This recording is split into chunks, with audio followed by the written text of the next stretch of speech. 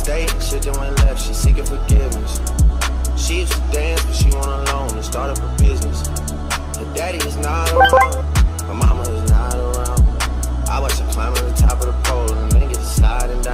Hi my loves, welcome or welcome back to my channel. So it is officially back to school season and I thought what a perfect idea to give you guys some outfit inspo for this upcoming back to school season. The outfits that I'm going to be showing you guys today, they are sponsored by Kollyy. So if you're interested in any of the clothing that I'm wearing, the discount code will be in the description box below. Also, all the outfits that I'm going to be doing today are going to be very, well except for the last one. The last one is kind of eh, but all the outfits that I'm doing today, they're going to most likely be very dress code friendly unless your school is very strict. So yeah, enjoy. So getting into outfit number one, we have us a Jorts little outfit. And if you know about Jorts right now, everybody and their mama wearing Jorts right now. So first thing I'm doing is I'm taking a belt, found it from Walmart. I needed it for a job interview. You can find a belt like that anywhere. Next, I have this jacket from a certain brand, which I'll go over in the end of this outfit. But I think I really wanted to pair that because it went really good with my shoes and all that. And I'm gonna be taking this white bag. Now, if I had a black bag similar to like this, I would have paired it up with that. But I think the white, you know, fit went super well with this. And overall, I think this outfit is super cute. Like, I just, I think it's school friendly. It's very trendy as of right now. And it's really cute.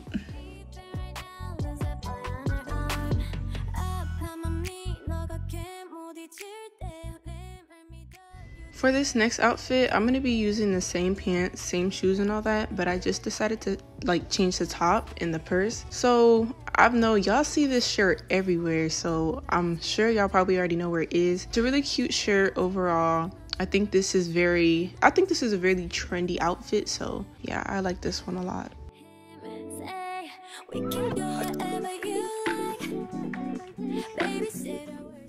Moving on to outfit number three. This outfit has to be my far most favorite outfit.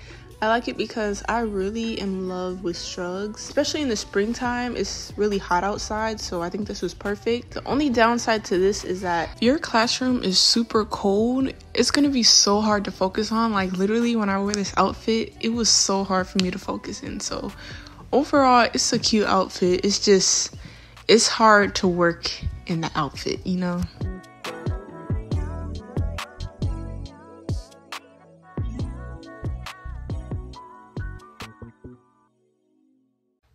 So moving on to outfit number four, this outfit is definitely giving like it girl vibes. I like it a lot because it just, I don't know, like the denim on denim, I, I love that. Anyway, so I'm using the same pants and the same shoes that I used for the last outfit. The only thing about this outfit is that I don't have a jacket with this one and I chose not to wear this one to school because it's just, it's super cold. Overall, this outfit is really cute and between the last outfit and this outfit, this one definitely comes second. So moving on to outfit number five.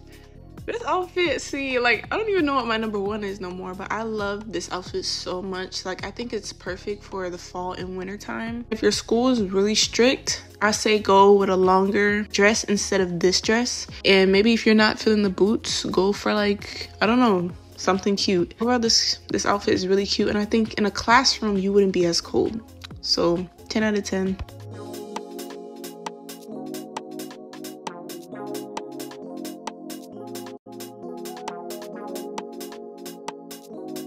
So now that I kind of went in and gave you guys some outfit ideas on how you can dress, you know, just getting some inspo, now I'm going to get into the real tea on how to elevate your style. Number one, I would say the first thing that has helped me tremendously is body proportions and knowing your body type. So when you see people who have a certain body and they happen to look really nice in the clothes and you try it on and it just doesn't look the same, you just have to know maybe that is just not for your body type and that's okay. Shopping for your body type is really hard. It doesn't matter if you're really, really short or really, really tall. I happen to be on the really tall part of the spectrum. So finding pants, finding tops, but finding pants especially it is so hard to find pants. But I can definitely say it has gotten easier since I know like where to shop at now. But before, I was like, this is too much. Number two, you have to kind of figure out what's your taste. For me, I don't stick to one aesthetic. I, I don't know if I do, but I, I try not to stick to one aesthetic. I try to venture out and try to see what aesthetics kind of fit me. If you are looking at an outfit and you're like, well, I'm not gonna wear that because it doesn't fit my aesthetic. In a way, in a sense, you're not really venturing out to see what looks good on you. So you have to venture out, even if you feel like the aesthetic is really not you, just test it out. See how it how it looks, you know, get out your comfort zone, try new things because that's what's gonna help you. Tip number three, invest into basics. I didn't know how important this was until kind of this year, but invest into basics. I just never been someone who felt like I would need basics, but as this year started to expand and my wardrobe started to just expand, there's gonna be days where you need basics. You know, maybe if that's just a basic black tee or a basic white tee, you're going to need basics. Number four is you don't have to spend so much money on clothes. I don't know who told you that. You don't have to have dunks. You don't have to have Nikes. You don't have to have um, Jordans. You don't have to have, what's it called, New Balance. You don't have to have like designer stuff. You don't have to have a Telfar. You don't have to have none of that to look good.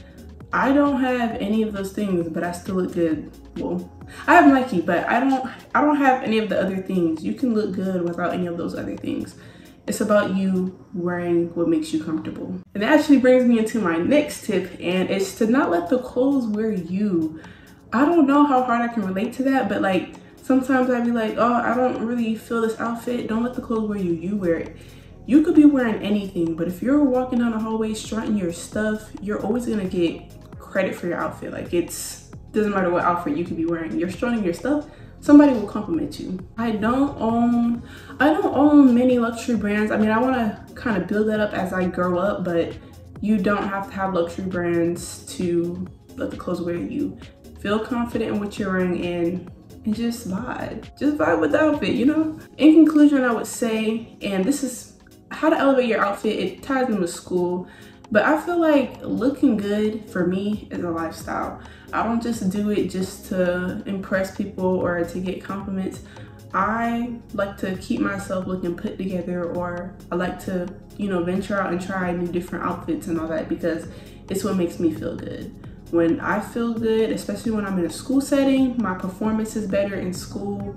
And that's just how I am. So it overall it boosts your confidence. It'll make your day better because most likely you're gonna like receive compliments. So, you know, definitely just get out your shell. If you're focused on, well, I can't wear that because I'm afraid what everyone else is gonna say or it's not really trendy. Who cares? The fact that people are judging you for wearing something that you decide to go out your comfort zone in, that speaks on them. So you don't gotta be worried about what you wear. Wear what you wanna wear, and at the end of the day, as long as you're not letting the clothes wear you, you're you're that girl so that is it for this video thank you so much for watching i definitely want to do more fashion content in the future because this video was suggested i mean it's been suggested in the past but not so recently. Some people have kind of been recommending me to do a video like this so thank you guys so much for watching. I hope you enjoyed this video and bye. So what's your sign? Cause i look cute. Got a place we can stay for the night. But i'm too shy to invite you. You got a gangsta vibe. And i want a gangsta